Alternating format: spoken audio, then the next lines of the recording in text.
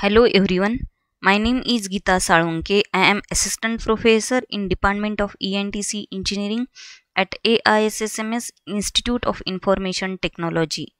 Now I am explaining prototyping in electronics product design. What is prototyping? Prototyping is an attractive idea for complicated and large systems there is no manual process or existing system to help determining the requirements. The prototypes are usually not complete systems. Many of the details are not built in the prototype. The goal is to provide a system with overall functions. This is the block diagram of prototyping model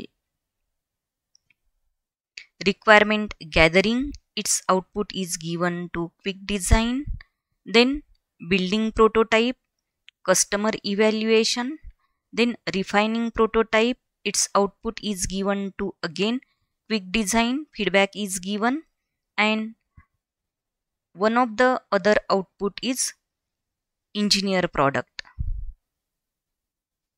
This is about the prototyping model Advantages of prototype model Errors can be detected much earlier. Missing functionality can be identified easily. Users are actively involved in the development. Confusing or difficult functions can be identified. Quicker user feedback is available leading to better solutions. Since in this methodology a working model of the system is provided. The users get a better understanding of the system being developed. Disadvantages of prototype model leads to implementing and then repairing way of building systems. Incomplete applications may cause inadequate problem analysis may increase the complexity of the system as scope of the system may expand beyond original plans. Now we'll see when to use prototype model. Prototype model should be used when the desired system needs to have a lot of interaction with the end users. Typically, online systems, web interfaces have a very high amount of interaction with end users are best suited for a prototype model. It might take a while for a system to be built that allows ease of use and needs minimal training for the end users.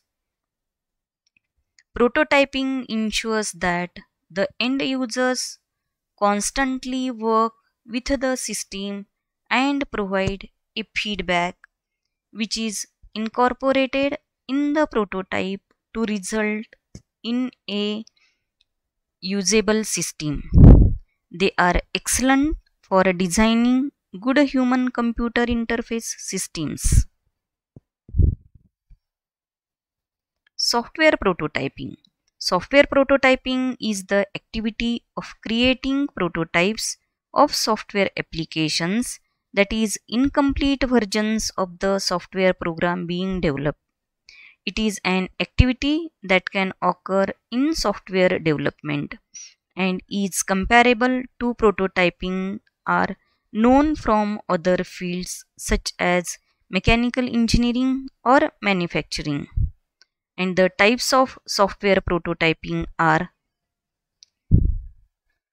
throwaway or rapid prototyping, evolutionary prototyping, incremental prototyping and extreme prototyping. This is about the prototyping of electronics product design. Thank you.